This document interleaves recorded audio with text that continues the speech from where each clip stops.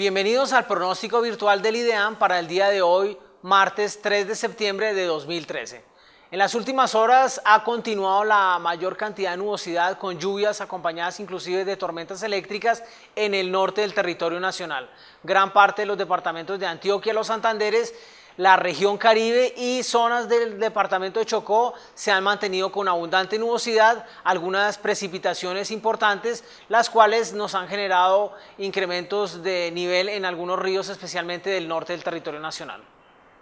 El pronóstico del tiempo para el día de hoy nos indica que en horas de la mañana gran parte del territorio nacional va a mantener condiciones secas, salvo el norte del país donde van a continuar algunas lloviznas eh, de variada intensidad.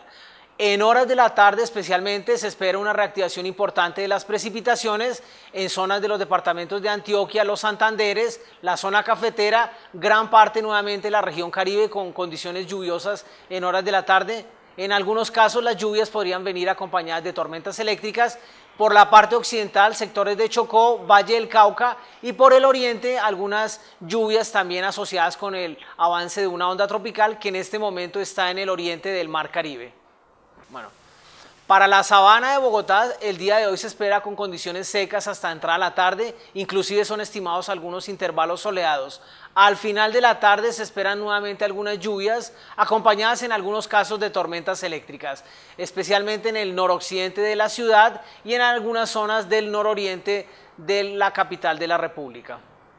Las alertas vigentes para el día de hoy eh, son eh, alerta roja por amenaza de crecientes súbitas en los ríos San Pedro y San Jorge, localizados en el departamento de Córdoba.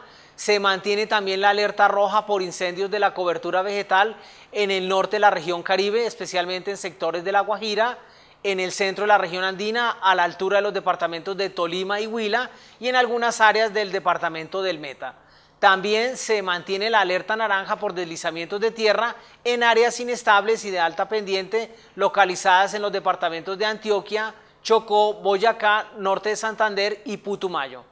Para mayor información, les sugerimos consultar la página del IDEAM www.ideam.go.co o si no, comunicarse con el meteorólogo de turno las 24 horas al 352-7180, opción 1 los dejamos con el pronóstico de algunas ciudades del territorio colombiano.